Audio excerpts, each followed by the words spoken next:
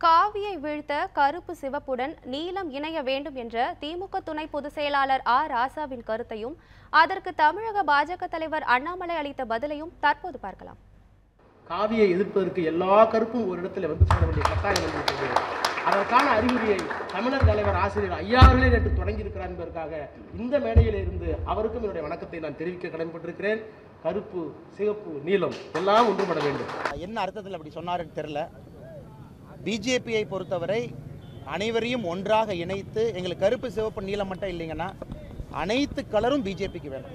எல்லாத்தையும் இணைச்சிருக்கோம். எந்த கலரையும் நாங்கள் ஒதுக்கலை. ரெட்டும் வேணும் பிளாக்கும் வேணும். அவங்களும் வரணும். எல்லா கலரும் நமக்கு வேணும். நாங்கள் யாரையும் பிரித்து பார்க்கவில்லை. ராஜா அண்ணன் வேணால் மூணு கலரை வச்சு அரசியல் பண்ணட்டும். பாஜகவை பொறுத்தவரை எல்லா கலரையும் வைத்து அனைத்து மக்களையும் வைத்து அரசியல் செய்ய வேண்டும் என்று நினைக்கின்றோம்.